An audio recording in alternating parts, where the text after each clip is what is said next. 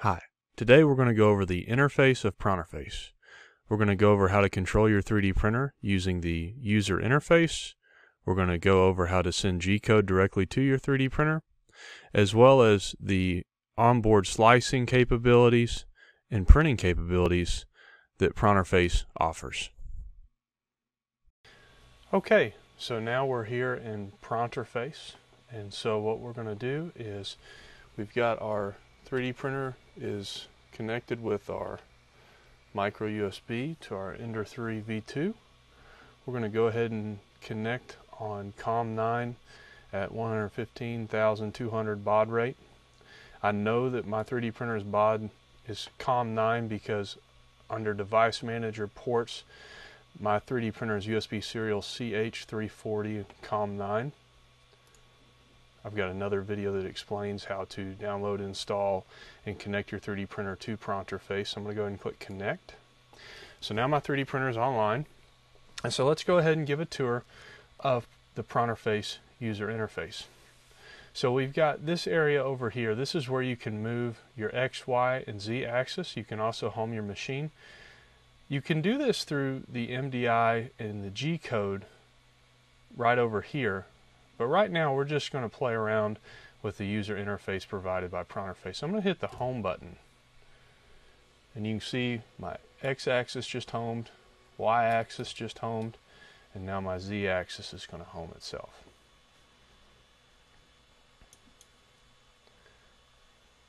And so now that we're homed, I'm going to go ahead and just use this interface to toggle the z-axis up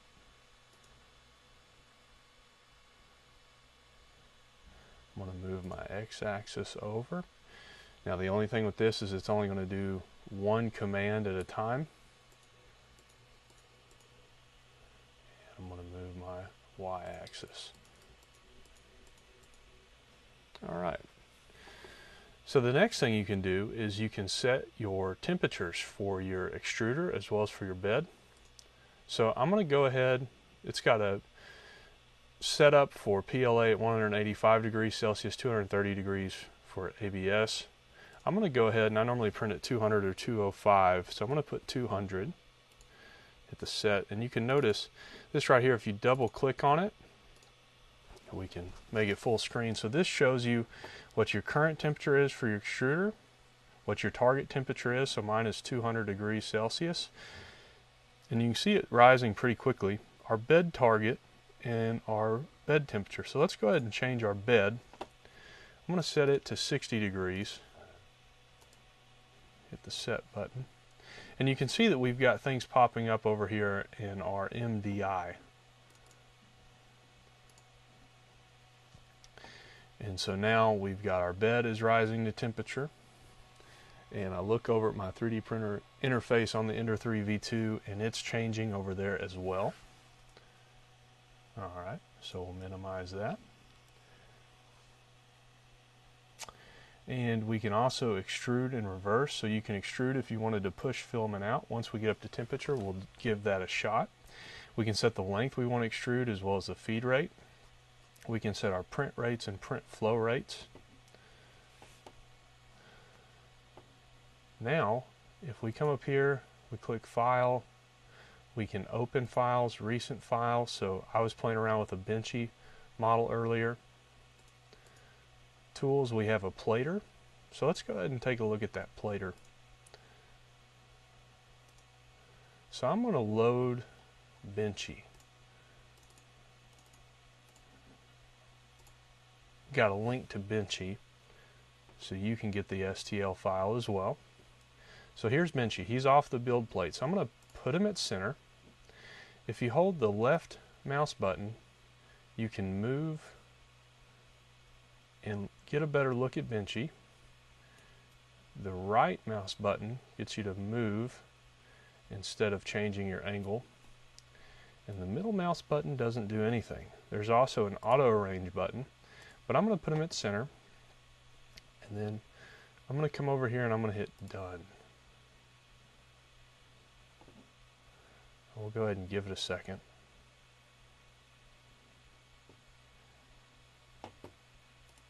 let's take a look at our temperatures.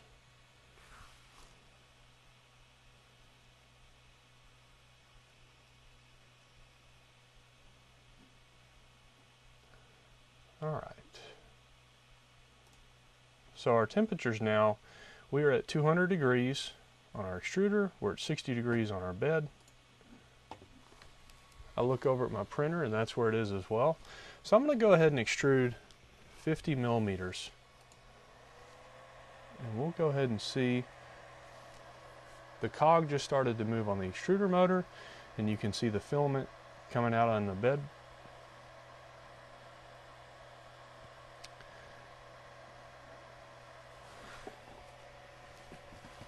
So a few other things that we can do.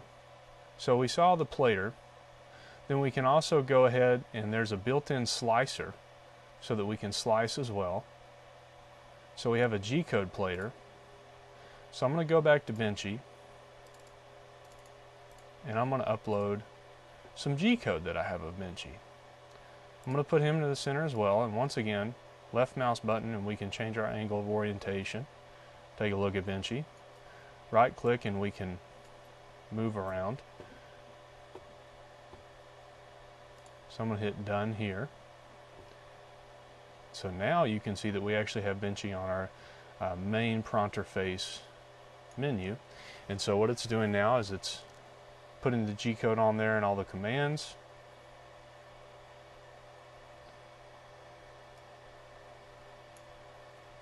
Benchy still loading. I'm going to go ahead and get that filament out of the way.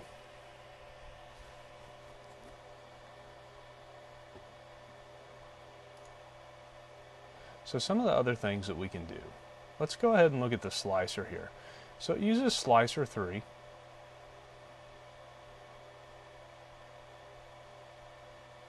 We'll wait for it to load here. Alright, so we're in simple mode. There is an expert mode, but I'm not going to cover that in this video. So we can set our layer height. I've got it at 0.2 millimeters right now. Our perimeters, as well as our shells for the vertical horizontal. One thing that's pretty important is this seam position. I always like to change mine to random. Otherwise, if you do a line, it's going to basically have a straight uh, line of boogers up your print if you put it all aligned. You can change the infill pattern. There's all sorts of different patterns you can pick from.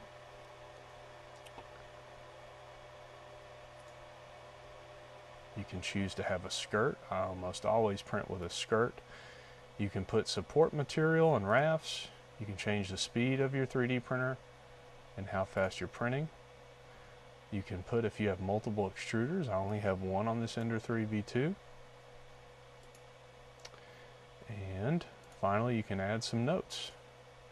Filament setting, I've got 1.75 millimeters filament, and I would set the extruder temperature to 200 degrees C and 60 degrees C on my bed.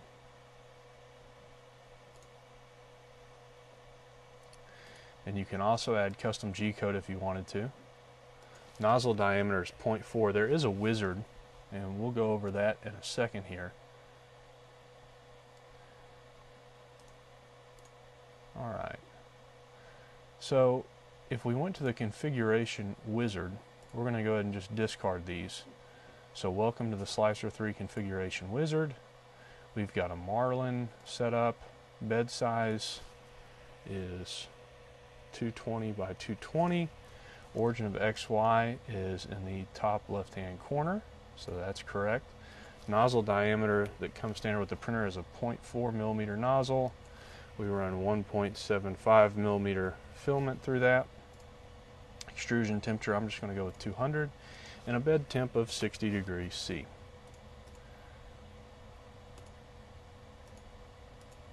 All right, and so now it put all of those things into the printer. Okay. And so I could print Benchy from here. Uh, in this case, I'm not. And I'm also going to go ahead and turn off the extruder temperature as well as the bed temperature. And so you can see that the set temps now have dropped. And so we're going to slowly see our extruder and our bed start to cool off. So that said, I'm going to come over here and let's take a look at the actual G-code editor. So one command that's pretty popular is G28, and that's how you actually home your machine. G28. I'm going to get this little bit of filament out of the way. So you can see the printer just homed in the x-axis and the y-axis and now on the z-axis. One really handy place to go, and I've got a link for this too, is this marlinfw.org meta G code. And this has every type of G code that you can enter into your 3D printer. And so if you want to learn more about G code, this is a really good place to go. So let's go look at the G28 that we just entered in. So it'll give you a description of what it does, some notes about it, as well as how to actually use it.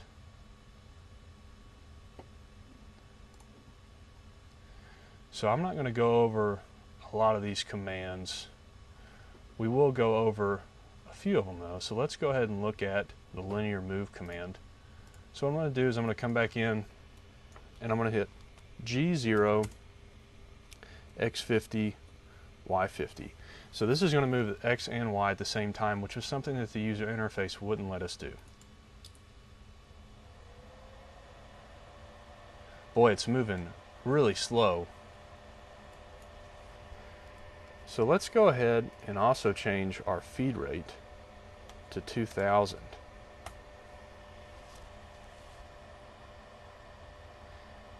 It's not going to actually communicate that until it finishes this one line of G code. So we're going to be here for a little bit.